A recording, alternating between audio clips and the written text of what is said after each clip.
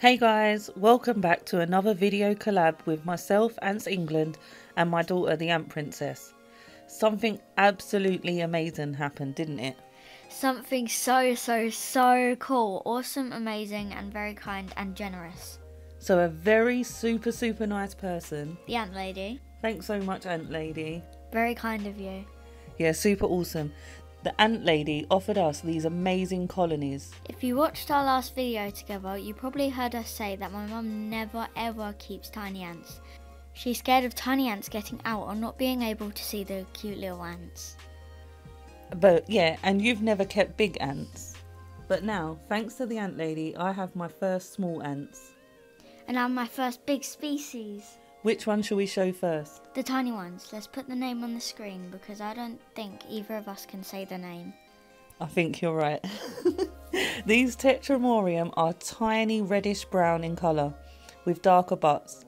For temps, I'm going to be keeping them at around 25 ish and aiming for a humidity of around 60%. These ants can inbreed, so it'll be super interesting to see how many queens we end up with over time.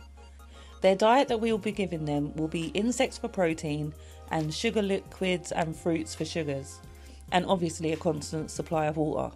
For housing, we're going to find it tricky to feed them in this tube, so we're going to do them a tubs and tube setup. Kate is going to get it all ready for me. Kate?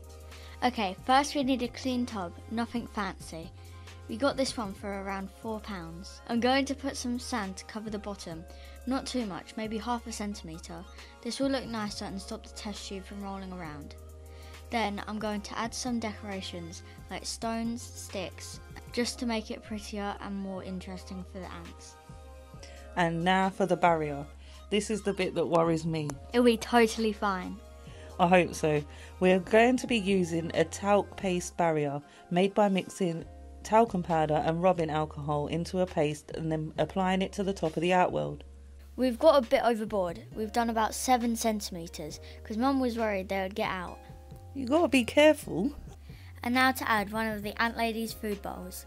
We are going to put in some cockroaches and some sugar liquid. We are using the Ant Lady's cotton candy one that's pink. We are going to put it on the cotton wool to make it safer for the ants and avoid them drowning. Now to add the ants. I'm just going to gently place the test tube in and leave them to explore their new home. Thank you, Kate. You've done an amazing job. You're welcome. And thank you once again to the Ant Lady for this amazing colony. Oh god, they're already testing the barrier. Don't worry, it'll be fine. Look, look. Plop. Okay, I'll trust you. Now let's check out your new colony from the Ant Lady. Wow, these are huge. She's so big. It's funny that my workers are bigger than your queens. Oh wow, I love them. These are stunning campos.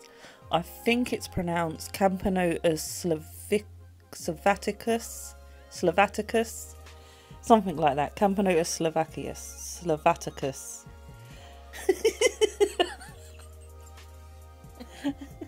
if you could hear the edits that we do on this video, it would be hilarious. We should do an outtake video one day. These are stunning campos. I think it's pronounced Camponotus slavaticus. Maybe. the queen is huge. She is. Queens are 15 to 17 millimeters. Workers and majors are very polymorphic and can be between 5 millimeters to majors being as big as the queen. Whoa, that's crazy. How big can the colony get? I think they can get to around 300 workers. But your 300 workers might take up more room than a thousand of my tetramorium. After doing some research, I'm going to be keeping these ants at a temperature of 24 and 50 to 60% humidity. That sounds about right. If anyone has kept either of these species featured in this video, please feel free to drop a comment with any tips or advice. I can't wait until they get majors. These are so cool. I'm not going to move these out of their test tube until they have a few more batches of workers. Once they have about 20 workers or too many workers that I can't feed them in the test tube anymore, I'll put the test tube in, into a tub setup until I find the perfect nest. I think that's a great plan.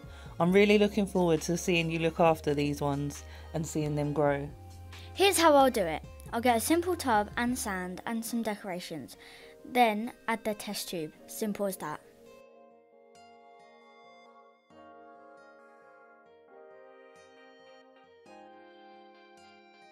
It looks great. We will have to do a follow up video on these colonies in a few months just to see how much they have changed.